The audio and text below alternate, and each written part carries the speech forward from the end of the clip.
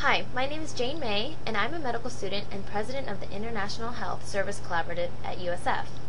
Dr. John Sinnott is one of IHSC's faculty advisors, and in addition to his many professional accomplishments, he is also a seasoned world traveler. In this presentation, Dr. Sinnott will shed light on the importance of preparation and provide a list of travel essentials to enhance one's readiness for the pitfalls one may encounter while traveling abroad. My name is John Sinnott. I'm the Associate Dean for International Affairs, and I'm going to talk to you, future and perhaps present world traveler, about travel medicine. I'm going to have a different slant.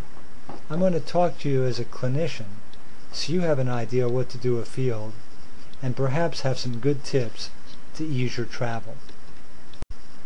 We always see these scary things about yellow fever, hepatitis, etc., and of course the dreaded idea of diarrhea while traveling.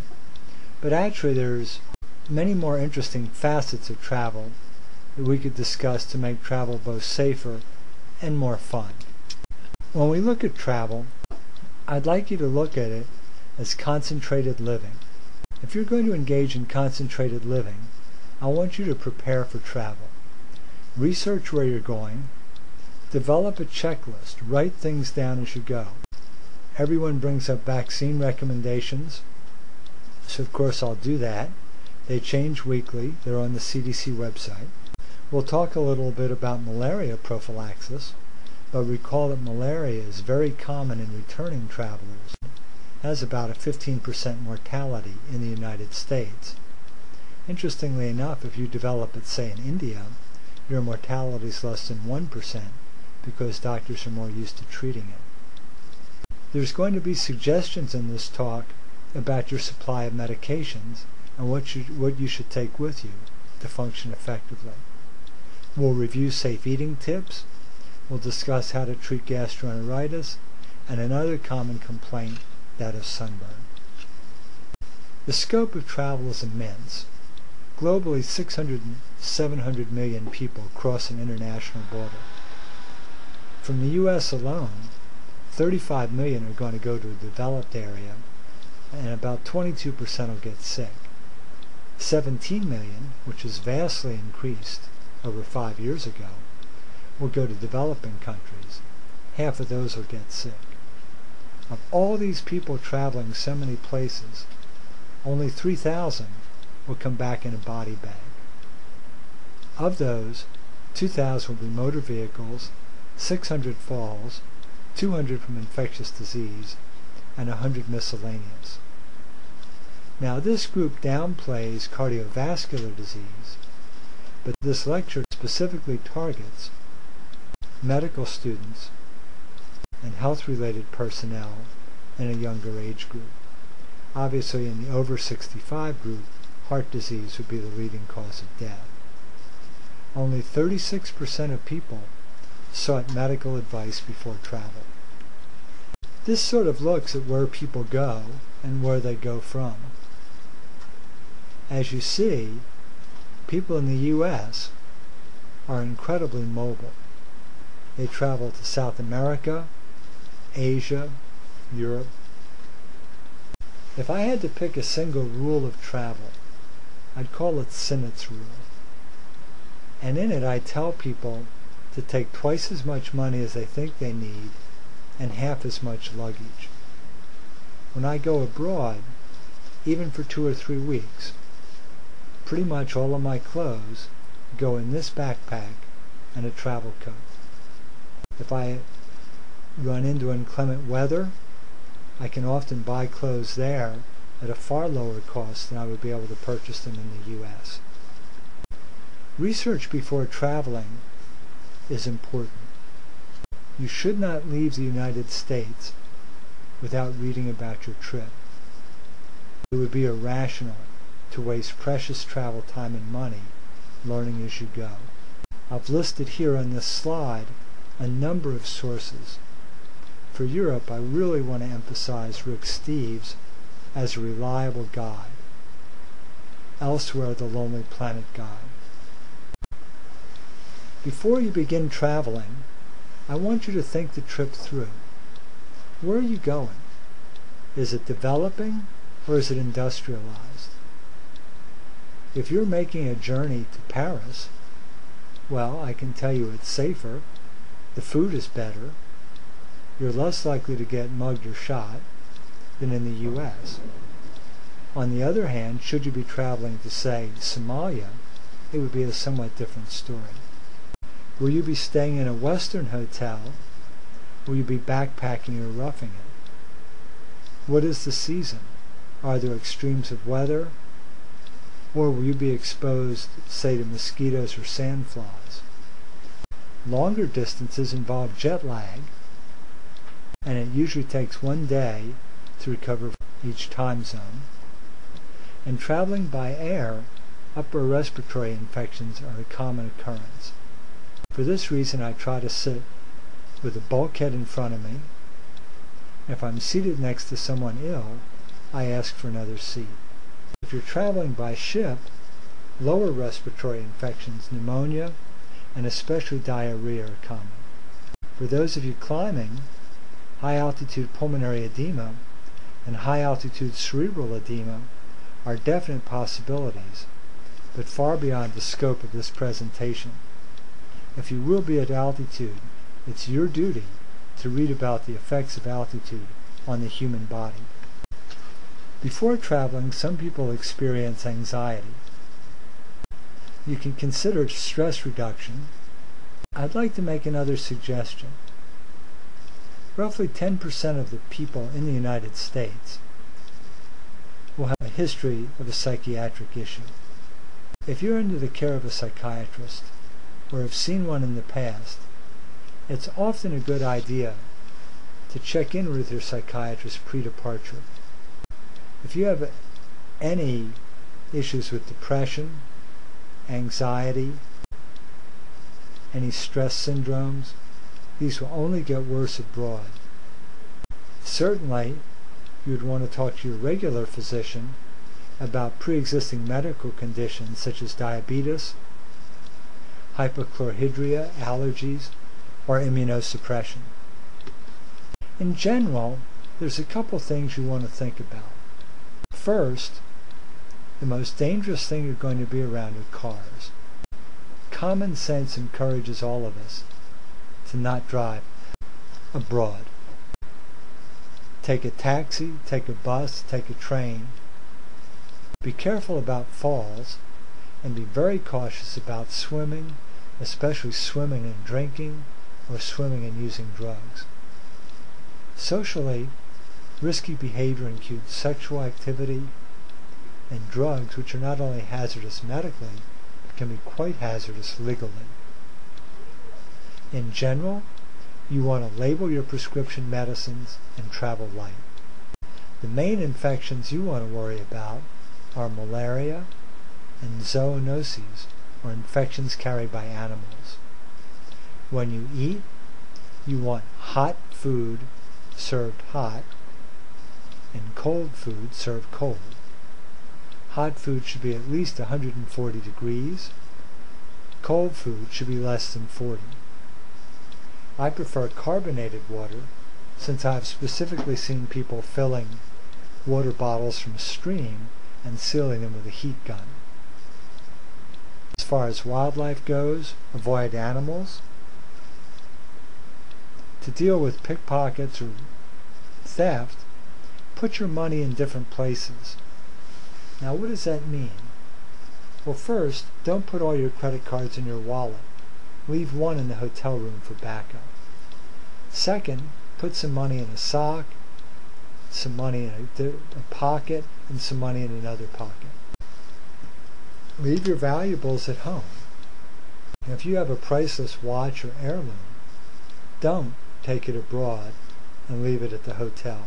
Just don't take it. Finally, I think all of you should consider a GSM phone. This is a tri-band phone. You can purchase it for 50 to $70 in your country you visit, get a SIM card with it, and call anyone you want. But most importantly, keep in touch with your friends in country. In threats to travelers, you hear many people talk about terrorist acts, kidnapping, etc.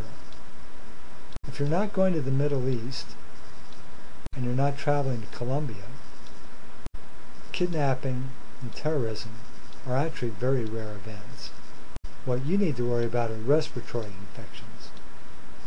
You should receive the pneumococcal vaccine, a current influenza shot. Antibiotics should be carried by high-risk patients. And if you're traveling in Southeast Asia, you'll find ample signs about avian flu and SARS, which will actually list alert levels. Please pay attention to them.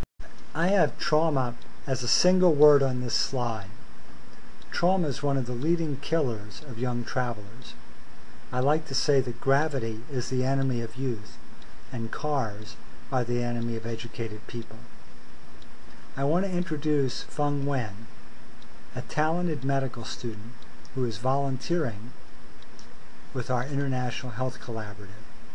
The next three slides depict an incident that occurred while Fung was volunteering or in the Dominican Republic. Fung, why don't you tell us what happened when you and Gravity met in the Dominican Republic? Okay, so while in the DR, our volunteer group visited a river with a waterfall. And the local children were jumping off, and uh, I decided it would be a good idea to follow suit. And this is what happened. My knee met a sheet of rock at the bottom of the river. What happened next, Fong? Well, here I am by the side of the road with our volunteer group, and luckily one of our classmates had suturing material with him. And since the clinic had no electricity, uh, I was getting st- stitched up by flashlight. Do you think it would be a good idea to use our checklist next time you go to the Dominican Republic or Uh, anywhere abroad? I definitely do agree. Thank you very much, Dr. Wen. We appreciate all you do for the university. And as Shakespeare said, all's well that ends well. Thank you. I mentioned driving earlier. Suppose you've rented a car and you come across this sign. If you don't know what this sign means, you probably shouldn't be driving the car. Here's another reason not to drive a car. This is a truck. If you look closely, you find the truck has a flat tire on the right, but is also full of dynamite. Again, whenever possible, hire a professional driver. I mentioned pickpockets. Try to carry your wallet in your front pocket. This is an example that happened to me in Thailand, where someone used a razor to cut the back of my pants, and just fortuitously, another individual saw my belongings falling out of my pocket. This is a GSM phone with a SIM card. Note that the charger is appropriate for the country. Many individuals travel with gastroesophageal reflux or heartburn. When you reduce the acid barrier in the stomach, you reduce the number of bacteria needed to make you sick. In general, it takes a thousand salmonella to infect an individual. But with proton pump inhibitors, you can become infected with as few as 10 microorganisms. If you are absolutely dependent on anti-reflux medicine or PPI, why not use half the dose or substitute Tums Ran acid for symptomatic treatment during the trip? Our traveler's checklist follows. Number one, label your medication. The only people that really care about your medications are going to be U.S. Customs. So make sure that you have only United States medications and that they are properly labeled. Do not put medicines from one bottle into another. Secondly, for TSA, liquid medications and paste must be in a one quart Ziploc bag. Each of you should Xerox your passport three times in color.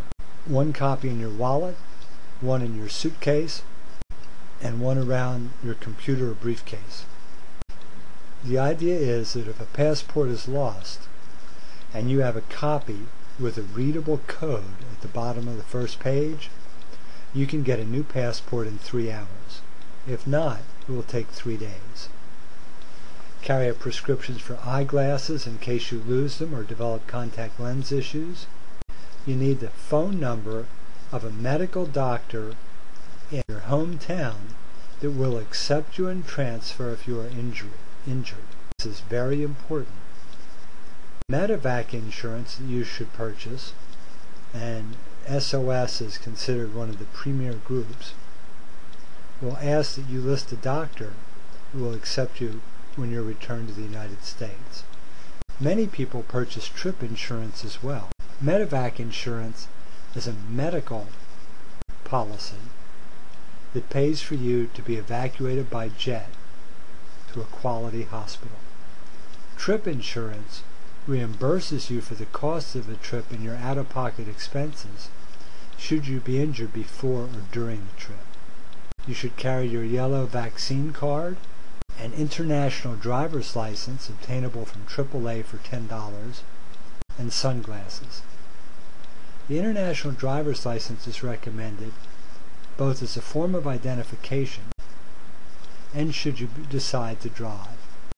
Most violations on motor scooters outside the United States will result in your license being confiscated. Also, other minor violations. Traveling on the plane, a neck cushion, inflatable, is a wise choice. Earplugs, so you don't need to listen to the chattering of the caffeine intoxicated person next to you, a carry on with fresh underwear and a small coat that'll keep you warm, a hat, and you should probably label the outside of your passport with your passport number. Each time you take the passport out of its holder or your pocket, you risk the chance of somebody picking it up and stealing it or losing it. If it's labeled outside, you can often read it through a clear window. Magnifying glass and sterile needles are essential.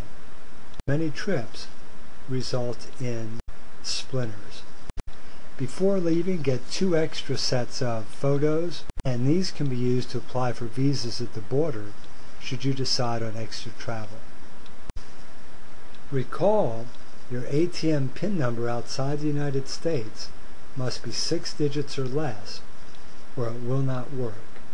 If you attempt to put a seven-digit number outside the U.S., the machines usually will not take it. Finally, on the back of your credit card, you'll see an 800 number. Tell them that you're taking the card outside the country so that when you purchase something abroad, the card will not be put on hold. Some miscellaneous advice follows. First, put all your liquids and pastes in a clear bag for TSA. Make sure your medications are labeled. This travel vest was purchased on eBay for $12.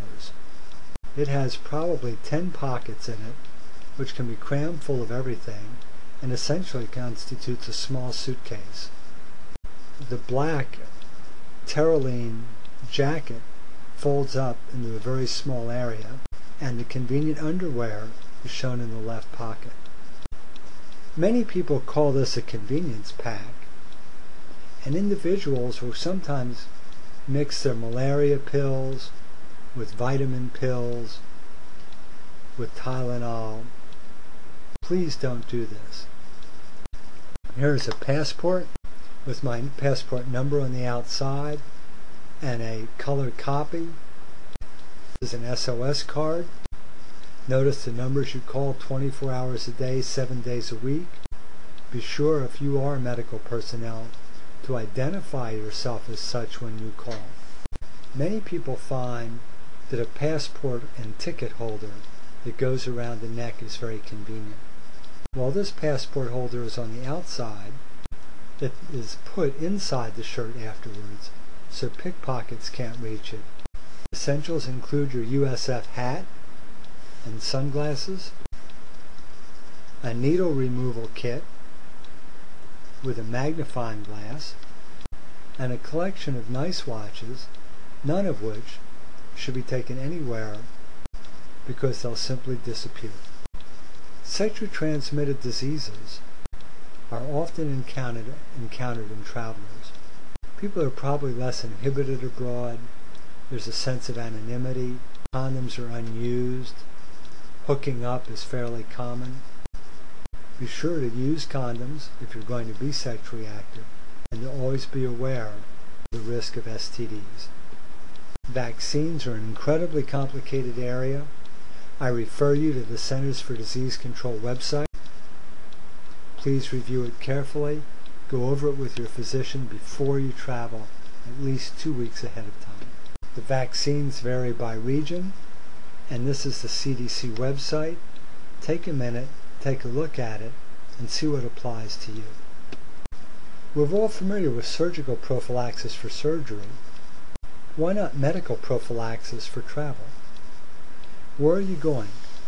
If malaria is involved, Malarone and doxycycline are wonderful agents.